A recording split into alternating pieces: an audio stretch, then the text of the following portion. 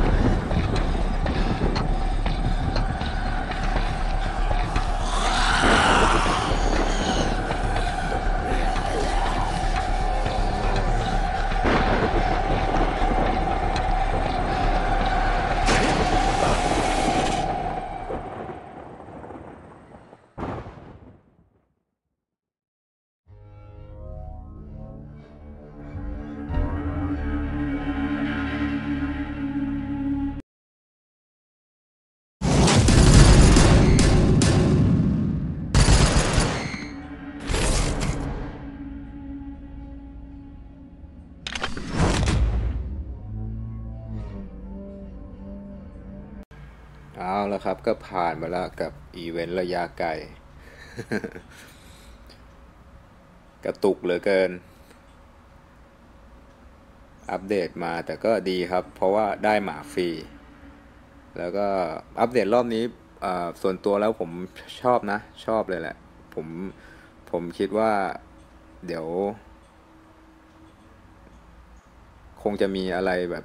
ดีๆ สนุกสนุก ได้อัปเดตมาให้เราได้เล่นกันอีกนะครับ แล้วก็เดี๋ยวเจอกันในอีเวนต์ถัดไปครับ นี่อ่าอีเวนต์ปีจอเจ้า r e t r i e v e r ของเราสำหรับคลิปนี้ก็ขอบคุณนะครับที่เข้ามาดูคลิปของผมกัน ไว้เจอกันใหม่ครับ สวัสดีครับ